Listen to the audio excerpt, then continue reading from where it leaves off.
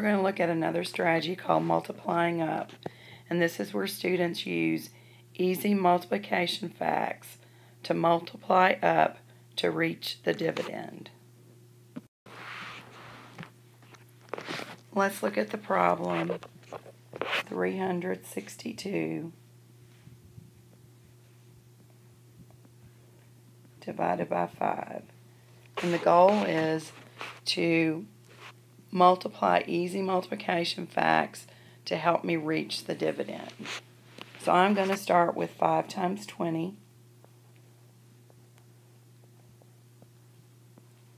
which gives me 100. I'm then going to do 5 times 20 again, which gives me another 100. I now have 200 out of the 362 of the dividend, so I'm going to go ahead and multiply one more time, 5 times 20, which gives me another 100.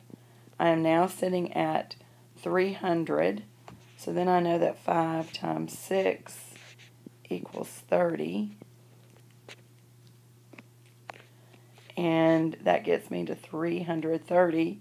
So another 5 times 6, which give me another 30. So now I know that 5 times 72 equals 360 and I need two more to make my dividend. So equals 362.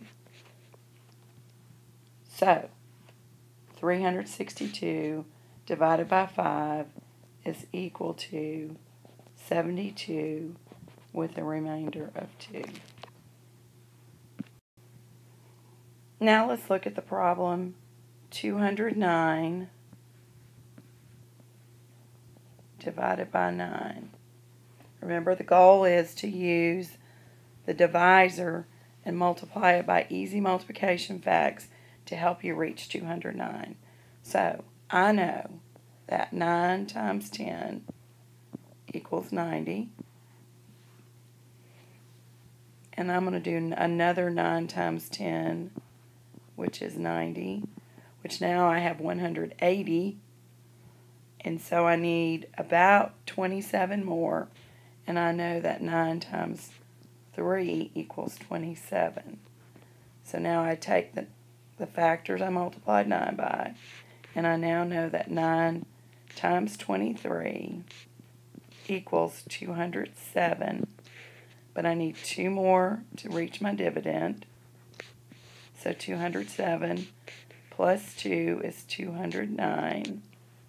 So 3, 209 divided by 9 is equal to 23 with a remainder of 2. Let's look at another problem and let's look at 192 divided by 6. I need to get as close to 192 by using easy multiplication facts multiplied by the divisor of 6. So I'm going to start with 6 times 20, which gives me 120. Then I'm going to do 6 times 10, which gives me 60. And now I have 180 out of the 192. So I need 12 more, and I know that 6 times 2 is equal to 12. So now I take my factors I multiplied 6 by, add them together, and so I now have 6 times 32 equals 192. So 192 divided by 6 is equal to 32.